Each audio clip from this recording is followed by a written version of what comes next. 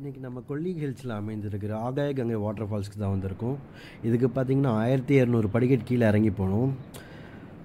அந்த போகிற வழியில் இருக்கிற வியூவே வந்து வேறு லெவலில் இருந்துச்சு. சில இடத்துலலாம் ரொம்ப ஸ்டீப்பாக இறங்கணும் கைஸ் ஃபால்ஸ் கிட்ட கைஸ் ஃபால்ஸோட சவுண்ட் கேட்குது இறங்கி போனதுக்கப்புறம் அந்த சத்தம் நேச்சர் கூட அந்த கனெக்டான ஃபீல் எல்லாமே சூப்பராக இருந்துச்சு. ஸோ இதோ பாருங்கள் ஃபால்ஸ்